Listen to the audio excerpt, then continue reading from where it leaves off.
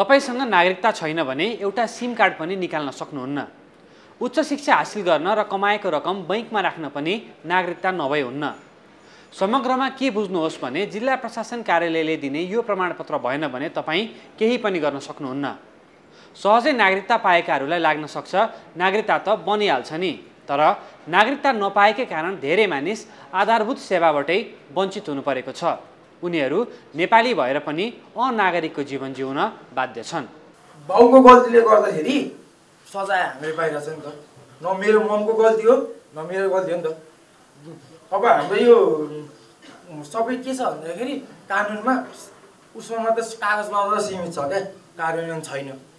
सत्तरी वर्षको मेरो मम्मी बिरामी हुनुहुन्छ डिप्रेसनमा गइसक्नु भएको छ मेरो समस्या देखेर। जहिले उठ्दाखेरि छोरा तेरो नागरिकता कहिले बन्नुहुन्छ? त्यो प्रश्नले मेरो दिमागमा घचघचाइरहन्छ अब म के गर्ने? आफूले सोचेको जस्तो सब्जेक्ट पढ्न पाएको छैन आफूले सोचेको जस्तो काम गर्न पाएको छैन। यत्रो वर्ष मम्मीले हेर्नुभयो अब मैले हेर्नु पर्दैन उहाँलाई। हो मेरो समस्या। सबैतिर बाबाको नाम लेख्यो। त्यही हाम्रो गल्ती भयो। त थाहा थिएन नि त हामीलाई पनि। जन्मदर्तामै लेख्नु हुँदैन भन्ने कि त हाम्रो वडाबाटै लेख्नु हुँदैन भन्नु पर्थ्यो। दुई हजार बहत्तर सालमा संविधान जारी भए पनि नागरिकता ऐन र नियमावली आउन आठ वर्ष लाग्यो। जन्मका आधारमा नागरिकता पाएका व्यक्तिका सन्तानले नयाँ नागरिकता ऐन बमोजिम वंशज नागरिकता पाएका छन्। तर कतिपय यस्ता छन् जोसँग नागरिकता पाउने पर्याप्त आधार छ। तर कानुनी अस्पष्टताले नागरिकता पाउने मुस्किल छ। आमाको नामबाट नागरिकता पाउन निवेदन दिँदा बुवाको परिचय खुलाउनुपर्छ। बुवाको पहिचान नभएको भनेर निवेदन दिएका व्यक्तिको जन्मदर्ता वा अन्य कागजातमा बुवाको नाम उल्लेख भएमा बुवाको नागरिकता पेस गर्न भनिन्छ। बुवा सम्पर्कमा नआउने वा नागरिकता बनाइदिन नचाहने अवस्थामा कतिपयको नागरिकता बनेको छैन। त्यसै गरी जन्मका आधारमा नागरिकता प्राप्त व्यक्तिका सन्तानले आमा र बुवा दुवैको नागरिकता पेस गर्नुपर्छ। कोहीसँग आमा वा बुवामध्ये एकजनाको मात्र नागरिकता रहेछ भने उनीहरूलाई पनि नागरिकता दिन समस्या हुने प्रशासकहरूको भनाइ छ। संविधान र नयाँ ऐनले आमाको नामबाट पनि सन्ततिले नागरिकता पाउने अधिकार सुरक्षित गरेको छ। यति मात्र होइन नेपालभित्र फेला परेको पितृत्व र मातृत्वको ठेगाना नभएको नाबालकलाई वंशजका आधारमा नेपालको नागरिक हुने अधिकार संविधानले दिएको छ। तर नयाँ ऐन र नियमावली बनिसक्दा पनि कतिपय नेपालीले अझै नागरिकता पाउन सकेका छैनन्।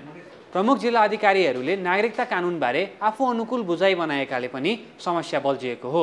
हामीले प्रमुख जिल्ला अधिकारी पठाउँदाखेरि ओरिएन्टेसन पनि भएन। उसको कार्य अनुभव पनि भएन र उसमा इन्सिजन मेमोरी पनि भएन। यो समस्या हो क्या। त्यसले गर्दाखेरि अनि उसलाई चाहिँ कुनै पनि न अनुभव छ न इन्सिजन मेमोरी छ न कानुनको कुरोको सबै कुरो जानकारी छ। त्यसले गर्दाखेरि उसले सही गर्ने बेलामा हरेक कुरोमा शङ्खाले हेर्छ। ए म फस्छु कि? म फस्छु कि भन्छ। त्यसले गर्दाखेरि उसले काम पन्छाउने प्रवृत्तिमा ऊ जान्छ।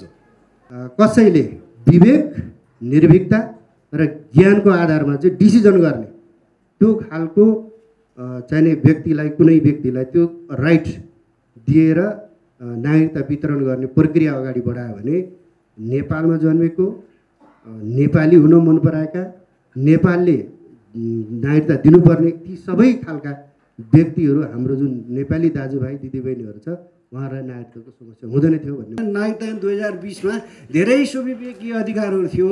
उसले धेरै कुराहरू बुझेर उसले सो दिन सक्थ्यो सिडिओले यदि त्यो वास्तवमा सहयोगी मनले काम गर्ने यसको समस्या फुकाइदिउँ भन्यो भने धेरै कुराहरू थियो। अहिले त्यस्तो खालको अलिक कम छ।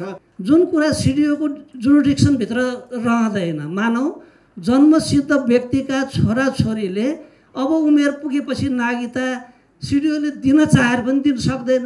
संविधानमा संशोधन गर्नुपर्ने होला। यो कार्यविधिमा सिडिओले के के मात्रै गर्न सक्छ जिल्ला प्रशासनले वा गृह मन्त्रालयले भन्ने कुरा पनि राख्नु पर्छ यता गृह मन्त्रालयले नागरिकता ऐन र नियमावली जारी भएपछि पनि देखिएका नागरिकता वितरणका समस्याबारे सरकारवालाहरूसँग छलफल गरेको छ। नागरिकता कानुन अनुसार कार्यविधि नहुँदा कानुन कार्यान्वयनमा जटिलता आएको गृहको बुझाइ छ। आमाको नाउँबाट धेरै इस्युहरू आइसकेका छ धेरै आन्दोलन पनि भयो यो विषयमा। यो विषयमा चाहिँ गृह मन्त्रालयले पोजिटिभली यसलाई चाहिँ हेर्नेछ भन्ने कुरा पनि म यहाँ राख्न चाहन्छु। बाउ हरायो सर्टिफिकेटमा नाम भयो। अब अहिले छैन अब बेपत्ता भयो भने पनि त्यसको पनि उपाय हुन्छ। शनाखत हुने बेलामा हराएको भनेर पनि गर्न सकिन्छ। हामी चाहिँ त्यो धेरै उपायहरू छन्। ती उपायहरू मैले यो यो इस्युहरूमा चाहिँ जुन यहाँ कुराहरू भए पार्टिकुलरली यो विषयमा यसरी नै भन्ने चाहिँ म यहाँ भन्दिनँ।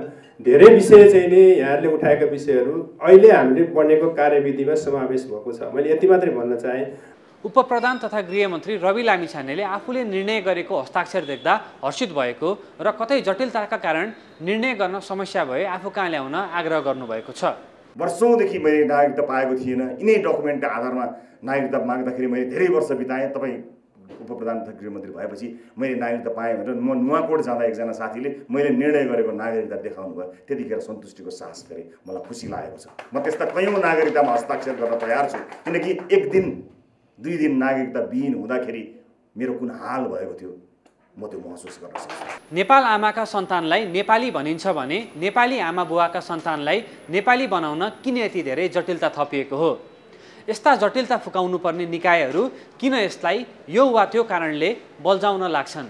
नागरिकले बुझ्न सकेका छैनन्।